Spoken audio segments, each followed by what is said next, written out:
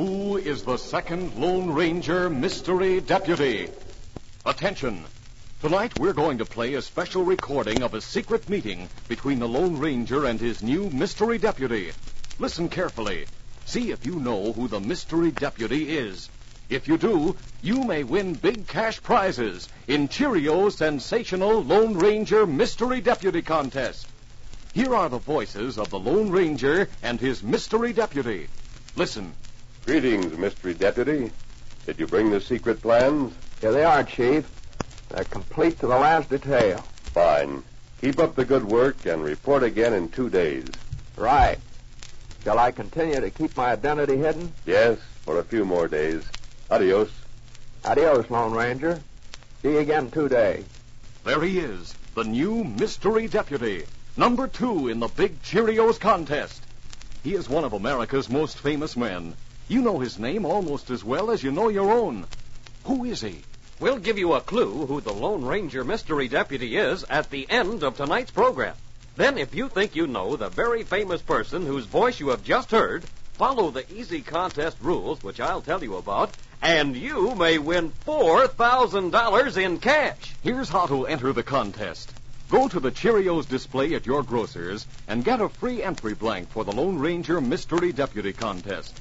On the entry blank will be a space for you to write down the name of the mystery deputy and a space for you to tell us why the man you have named deserves the honor of being a mystery deputy. Fill out the entry blank or use sheet of paper. Then print your name and address and send it together with one box top from Cheerios, the delicious ready-to-eat cereal made from oats.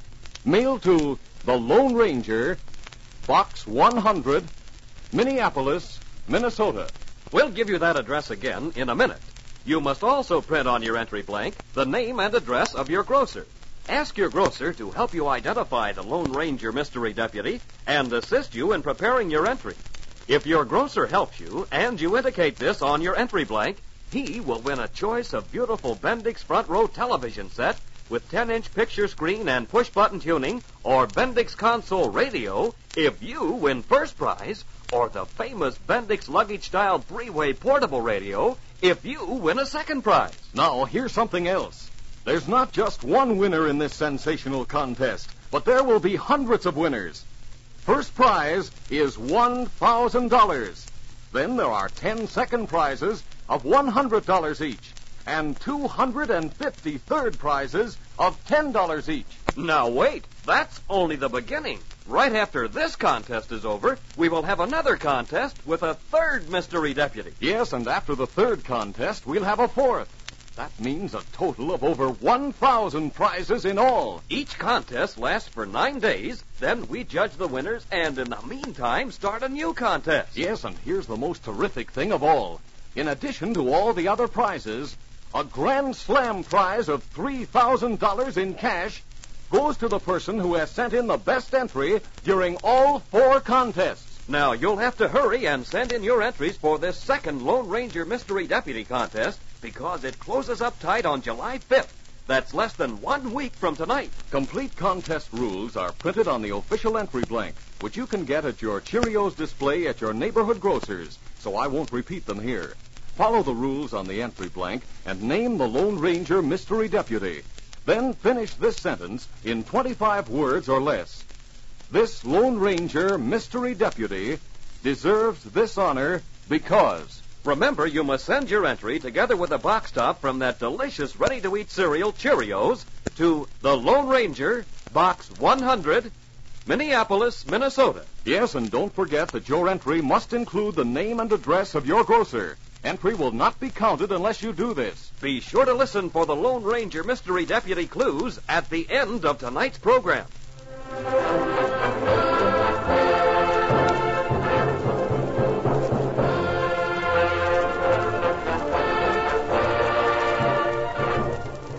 Now, to continue our story. When he was overtaken on the trail and ordered at the point of a gun in the hands of a tough looking man to go with him to Derek's hideout, John Meekley once more experienced a panicky feeling. As they went along the trail, John glanced hurriedly around, hoping to see some sign of a masked man and Indian, but without success. By the time he and his companion reached a deserted cabin in the hills, John was sorry he had listened to the Lone Ranger. There was nothing he could do but stop and dismount. Oh, oh, oh, oh. oh, oh get it.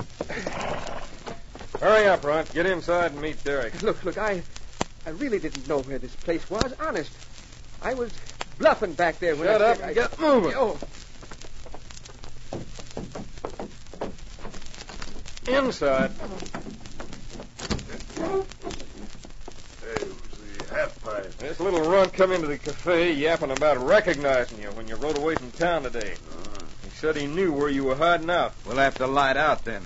Maybe he told the sheriff all that, too. Nope, he didn't. Seems like people in town laugh at this little hombre because he likes to make out he's tough and he's always getting bounced around by someone. He asked to go with the posse, but the sheriff wouldn't let him. So you knew who I was when you saw me, huh, Shorty? well, see, I He tried to get the men at the cafe to come out here to capture you for the reward, but they laughed at him. And the way he talked, though, I knew for once he wasn't putting on an act. All right, grab him, Pete. Hold his arm. I got him. No, let, let me go. Uh, listen. Either talk fast and tell how you found out where I was hiding and who I am, or I'll plant this big fist of mine across your mouth. Yes, yes, I'll tell you honest. Start talking then. It was part of a plan. Me going to the cafe and saying that. What do you mean, a plan? Well, I met two hombres, a masked man and an Indian. They said they'd been trailing you and guessed you pulled that robbery. The masked man planned for me to go to the cafe and talk like I did. Masked man and an Indian. Don't make sense. Yes, it does, you fool. That masked hombre and the Indian have been after me for some time. I'm beginning to see all this straight now. The masked man said you might have planted someone there in town. If I talked and said I knew who those outlaws were, that someone would follow me and bring me right to you. The masked man and Indian were to follow, but they crossed me up. So that's it. They were going to follow, huh? And they used you for the fall guy. Well, it's too bad you listened to that masked man. But good for us. What are you going to do, Bill? They followed. It's followed our chance to get rid of that hombre. They didn't expect the half pint to get scared and squeal like he did. So they won't know we're expecting them. Let's get outside pronto and bring that whining little hombre with you. We'll uh, wait in ambush until those two show up and fill him with lead. Then we'll give Shorty here what's coming to him. Come on, let's go.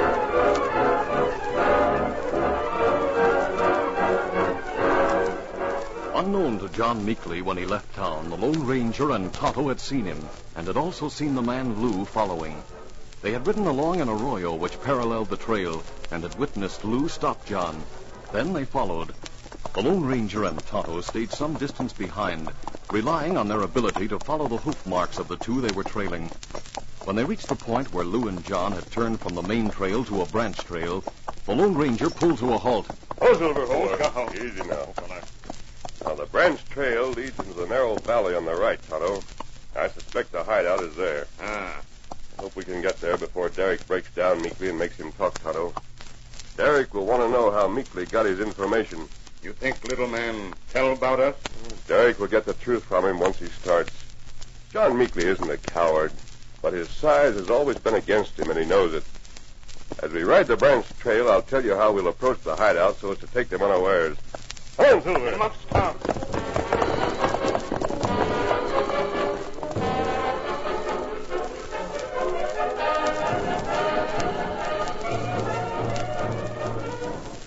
Meantime, Derek and the other two outlaws had hidden in ambush behind some large boulders a short way up the branch trail from the cabin. They had taken John's gun, and the little man stood with his hands tied behind his back between Derek and Pete. Finally, they heard hoofbeats approaching beyond a bend in the trail, just a short distance away from the boulders. Well, here they come. Set your guns at the bend. The minute they appear, we'll all shoot. You won't have a chance. You'll never know what hit him. We'll settle Shorty right after. All right, this is it. We'll come around the bend in a minute. Get set. No, you dirty crook, I won't let you ambush you. Oh, Can you fix that shrimp?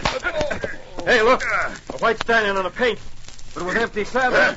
Well, I'll be. At least I can put a bullet in the runt. Oh, oh, I'm hit. Hold it, all of you. You're coming. Hey, they're above us on top of the boulders. Drop your guns.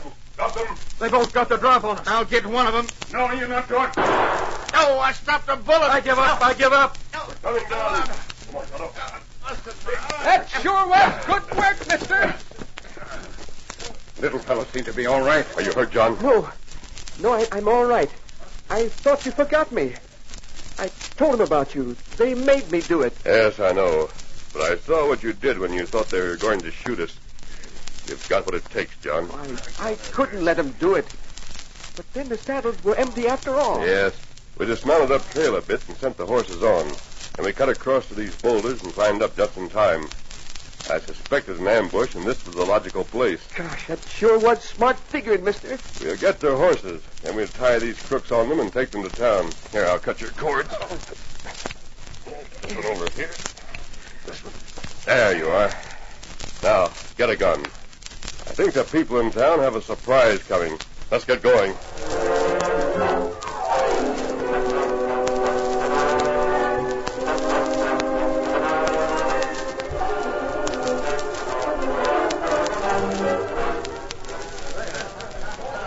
It was just about dusk. The sheriff and the posse had returned to town and had gone to the cafe. They were inside talking over events of the day. Well, we didn't have any luck. But we'll try again tomorrow. Hey, Sheriff, what do you think about the talking they say John Meekley did in here early this afternoon? I think just what the rest of you think. Poor little John was just acting up again. He heard about Derek or read that handbill I got across the street. Just decided to tell that story. That's all. He was sure talking tough, Sheriff. Even hinted that he might go bring in Derek all by himself. That's right, Sheriff. You should have heard him. You ought to make Meekley a deputy. Hey, hey, Sheriff! Sheriff! You better come take a look, pronto. What's up? John Meekley's coming up the street with three hombres tied to their horses and holding a gun on them. It can't be. Great day. I gotta see this. So do I. Come on. By golly, it is Meekley. Steady. Hi, Sheriff. I got a few outlaws for you to put in jail. What is this, John? How in That thunder one you... there's Bill Derrick. There's a big reward for him, I understand. Uh, the money they stole from the bank is in his saddlebag. Holy smokes, Sheriff. The bank money is here in a saddlebag. John, how'd you ever do it?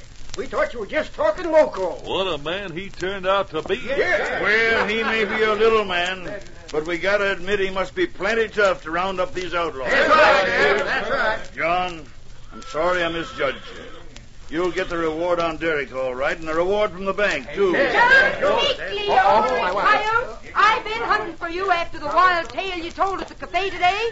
Now you get on Just a minute, Matty. What? See them three tough-looking hombres sitting there in them saddles, so sorry like? Mm-hmm. I see him. Your husband, John, just captured 'em. What's more, one of 'em's Derek, one of the toughest outlaws in the oh. territory. You say my husband captured him? You can take the sheriff's word for it that I just brought him in, Matty. What's more, I ain't going home till I'm good and ready. Oh, that's the way to talk, John. Yeah, sure. How tough you are, John. Maybe you'll let you be boss now a bit. Great jumping catfish. And to think I ran him out this morning with a broom. Reckon I just ain't the type to get tough with a female, Matty.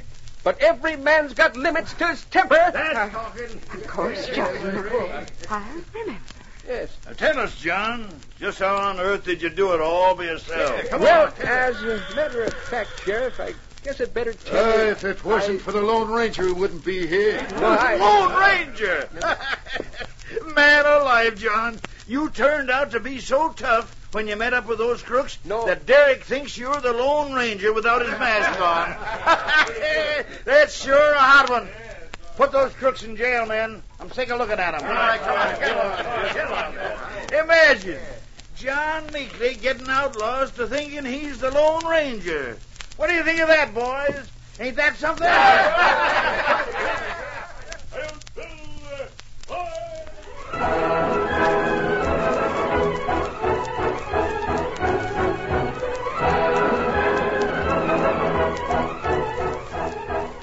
rejoin the Lone Ranger in just a moment for a word about his next exciting adventure, Matter of Revenge. And now, here come the clues. The clues to help you figure out who the new Lone Ranger mystery deputy is in the second of Cheerios' four big contests. Yes, you've already heard the voice of the new Lone Ranger Mystery Deputy. And now we're going to give you special clues. Ready? Listen. He's over six feet tall, has brown hair, and plays the accordion. During the war, he was awarded the Distinguished Flying Cross for his leadership of a squadron of bombers. He works for a company whose initials are MGM. Who is he? There are your clues. Now, don't wait another minute to enter this big contest if you think you know this very famous person. Here's what to do. Just name the mystery deputy and tell us in 25 words or less why the man you have named deserves the honor of being a mystery deputy.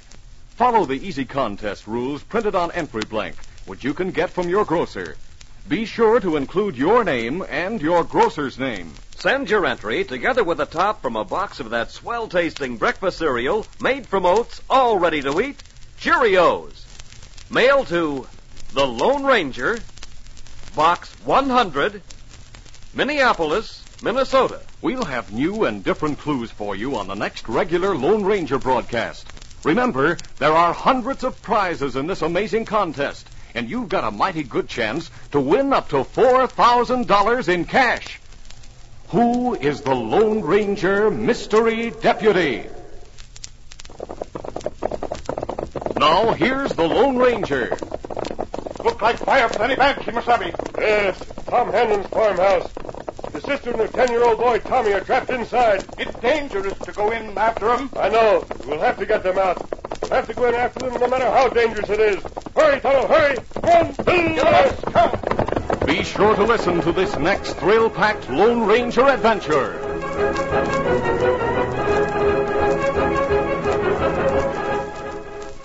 Say, living's getting better all the time. Imagine now you can bake real Betty Crocker cakes from mixes. Sure, Betty Crocker's three new mixes, party cake, devil's food, and ginger cake, are Betty Crocker recipes measured out more scientifically than they could be at home. No wonder your cake baking success is sure. Try party cake for yellow, white, or spice cake. Devil's food for chocolatey cake that makes folks take notice. They're fresh egg mixes, of course. Betty Crocker wants you to add fresh eggs to get consistently better cakes. Try Betty Crocker ginger cake too. It's spicy rich as gingerbread, tender light as cake. Made from cake flour, not from bread flour. These aren't ordinary cake mixes, they're Betty Crocker cake mixes. Try all three.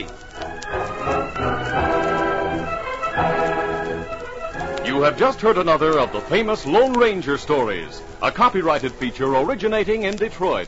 This is a feature of the Lone Ranger Incorporated, created and produced by George W. Trendle, directed by Fred Flowerday, and edited by Fran Stryker. The part of the Lone Ranger is played by Brace Beemer. Your announcer, Fred Foy.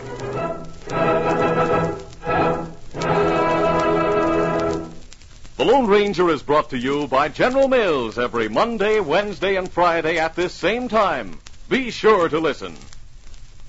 Adventure lovers, tune in tomorrow night, same time, same station for another thrill-packed show. Counter Spy, presented by Pepsi-Cola. Pepsi-Cola hits a spot. Two full glasses, that's a lot. Right, two glassfuls of delicious Pepsi from one big 12-ounce bottle. Twice the tangy taste, twice the natural goodness, twice the Pepsi. Take a carton home, America's biggest cola value. Why take less when Pepsi's best?